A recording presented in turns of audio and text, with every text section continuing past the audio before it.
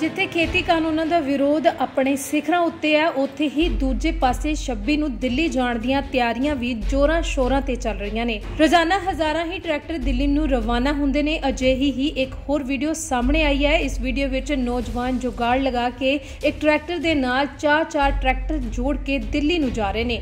ਆਓ ਤੁਹਾਨੂੰ ਵੀ ਦਿਖਾਉਂਦੇ ਹਾਂ ਜੁਗਾੜੀ ਜੱਟਾਂ ਦੀ ਇਹ video.